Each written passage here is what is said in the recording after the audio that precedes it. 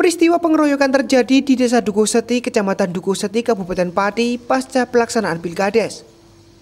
Pelaku pengeroyokan menggunakan batu bata yang tertumpuk di depan rumah untuk menganiaya korban.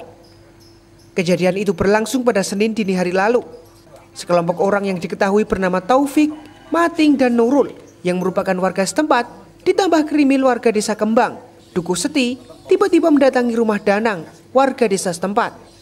Siti Latifatun, istri korban Danang mengungkapkan, kedatangan empat orang pelaku itu secara tiba-tiba. Saat itu dirinya dan suami sedang tidur di kamar. Lalu pelaku mendobrak pintu hingga rusak hingga terjadilah perkelahian. Untuk melindungi diri dan istrinya, pemilik rumah juga melakukan perlawanan dengan menggunakan senjata tajam. Namun istri korban mengaku tidak tahu permasalahannya, apakah terkait pilkades atau tidak. Akibat peristiwa itu, Pintu rumah miliknya mengalami kerusakan termasuk kacanya pecah. Yang pastinya saya nggak tahu, benar-benar nggak tahu entah ada permasalahan sama suami saya apa tentang pilkades kurang tahu.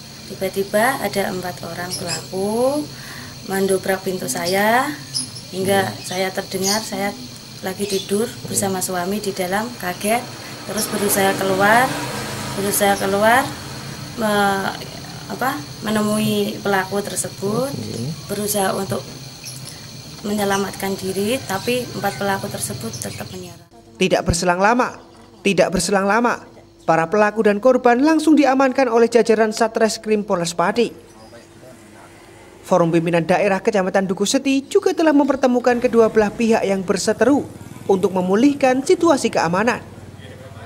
Pilkades di Desa Gusti yang mana pada hari kemarin ada sedikit gesekan antara pemuda dan mana ini kita pertemukan antara pemuda atau mungkin pihak yang berselisih ini baik dari uh, pendukung nomor satu nomor dua.